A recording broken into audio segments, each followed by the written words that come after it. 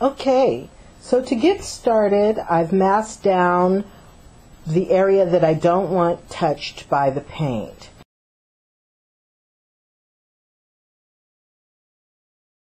And I just simply used my mats, some white paper, masking tape, whatever you got that works that mask it off because you don't want drops of paint everywhere else because you're not going to have time to stop and clean it up. And I want to do this fast. Uh, I don't exactly know what my reason for it, except it seems to work better. so I'm going to use three colors for this project. And what I've done is just laid down two Glimmer Mist stencils.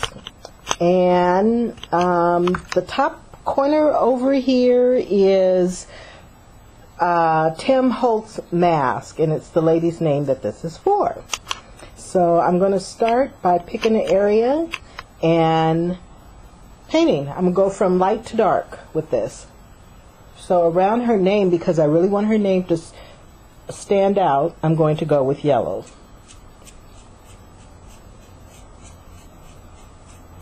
And remember, I'm using this as mask, so it's what's outside of the stencil that will be sprayed.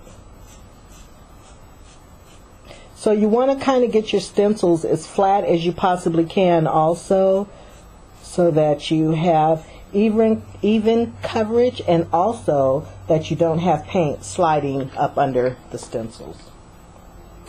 Okay, and as I said, I'm using three different colors and I'm just going with it splotch. I'm going to splotch if I can get one more.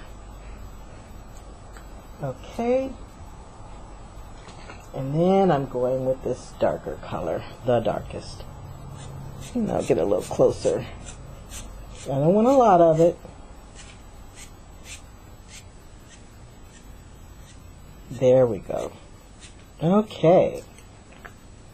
The other thing I've done is I've made myself a pan of water and vinegar so that I could immediately dump my stencil in it and keep the paint from drying on it. Now, I suggest that you use gloves for this, but um, I'm being bad and I'm not using gloves.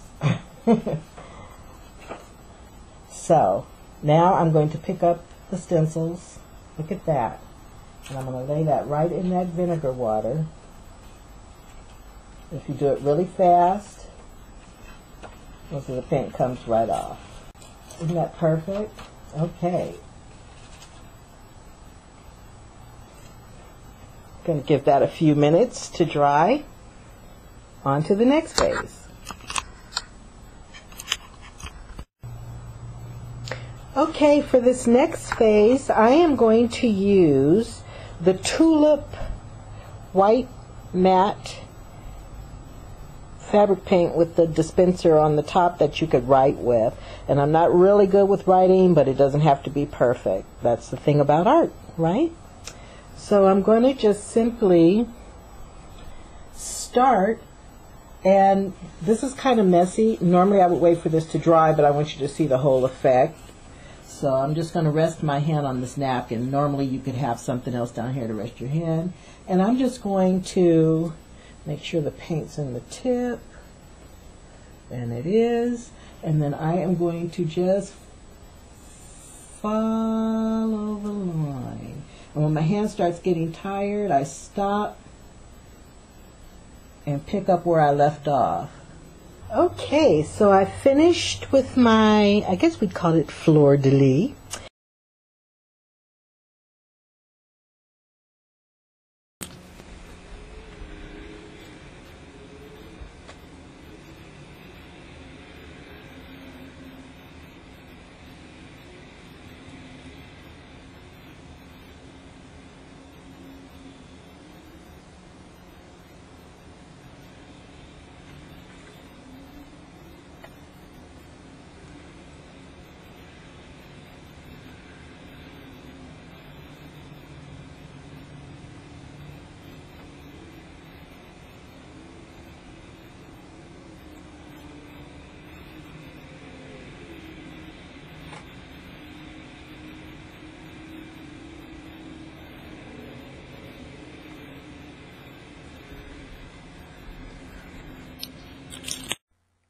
Voila! Here you have it, the finished product. Fun, funky, and fast. A sexy apron to wear at an event, maybe, that you're giving, or just for fun around the house. Hope you enjoyed. What do you think?